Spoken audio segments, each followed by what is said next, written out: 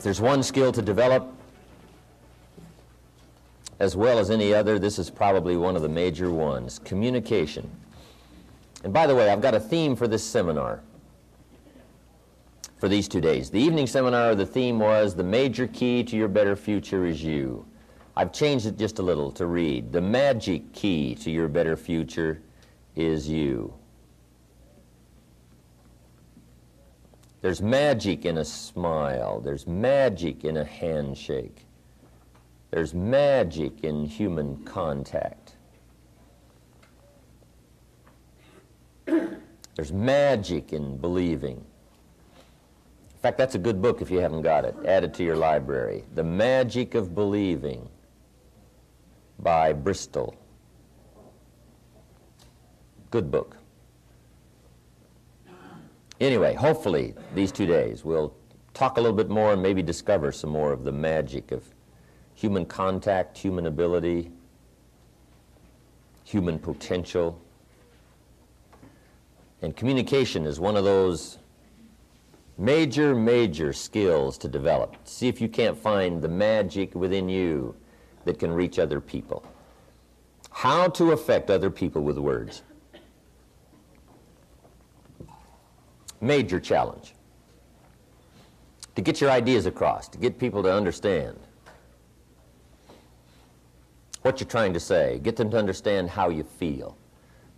And at first, words are a bit clumsy when it comes to trying to express an emotion or an idea or a feeling. But if you'll practice it, and especially if you know the components of good communication, it'll really start to help. I heard the story about the preacher in the back country down in the southern part of the United States, was taking over this little country church for the first time, and he was up preaching his first sermon. And he said, Congregation, first of all, this church has got to crawl. And in order for this church to crawl, everybody's got to show up and do their Christian duty. And if everybody will show up and do their Christian duty, this church can begin to crawl. And the congregation understood what the preacher said, and they all responded, Let it crawl, preacher, let it crawl. He said, next, this church has got to get up and walk. In order for this church to walk, everybody has got to tell their Christian story and try to win somebody else. And if everybody will tell their story, try to win someone else, this church can begin to walk.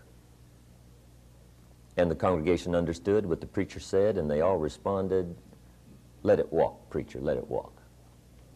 He said, Next, this church has got to run. And in order for this church to run, everybody has got to divide up, serve on the committees, and do the work of the church. And if everybody will divide up, serve on the committees, do the work of the church, this church can begin to run. And they all understood what the preacher said, and they responded, Let it run, preacher, let it run. He said, Finally, this church has got to fly.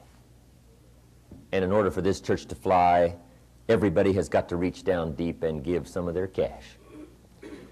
And if everybody will reach deep and give a portion of their cash, this church can begin to fly. And they all understood what the preacher said, and they responded, Let it walk, preacher, let it walk. okay, how to make it clear. First of all, we communicate for two primary reasons. And here they are. Number one, we communicate just to get along. You can't even function in the barest minimums without some kind of communication.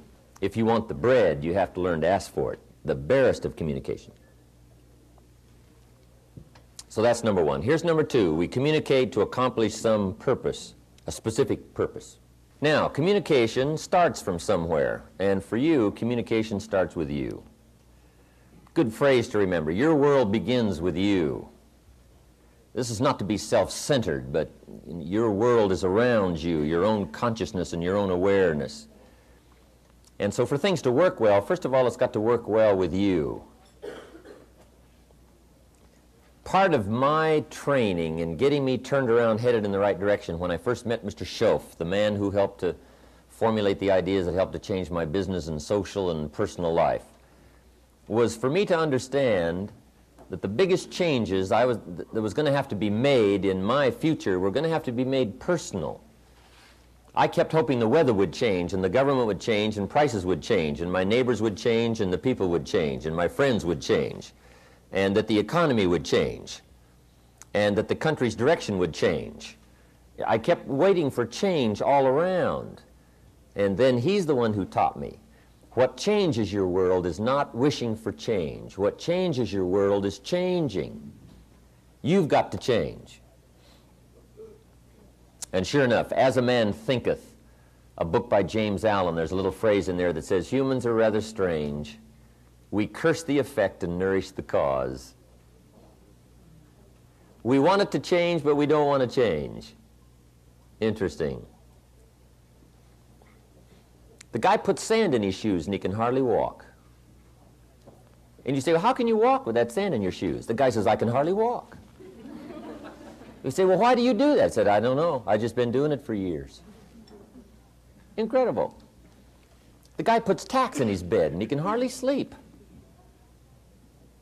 You say, well, how can you sleep with all those tacks in your bed? The guy says, I can hardly sleep. You say, well, why would you do that? He said, I don't know. It's been in the family for years. I mean, we just do things like that. Interesting why we would wish for it to change, hoping it will change, but resisting change.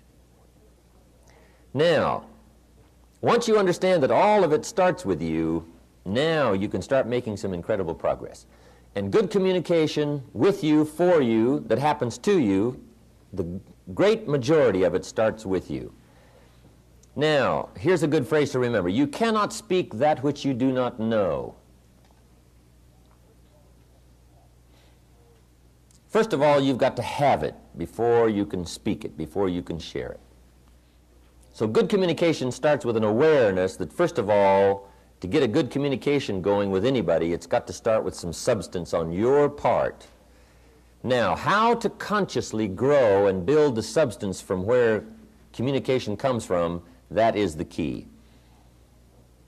It's like, first of all, making deposits. You can't withdraw anything till you put something in.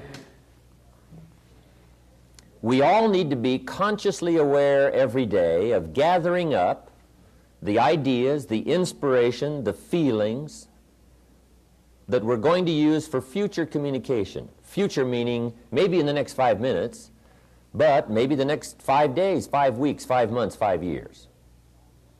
Consciously aware.